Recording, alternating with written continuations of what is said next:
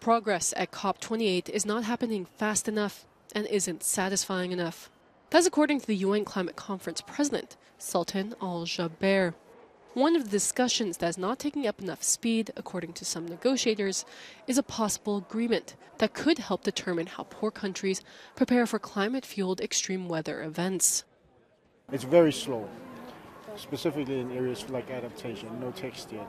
There's, that's, that's frustrating, to, to, to be honest with you. But uh, we, we're not here to give up yet. We're, we're here for the long haul because we want a good outcome of this for us to stay alive.